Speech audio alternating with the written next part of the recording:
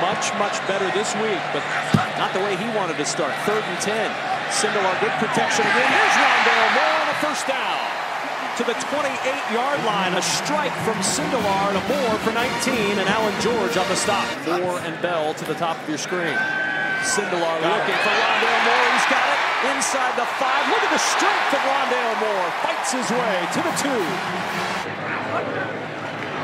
Sindelar over the middle.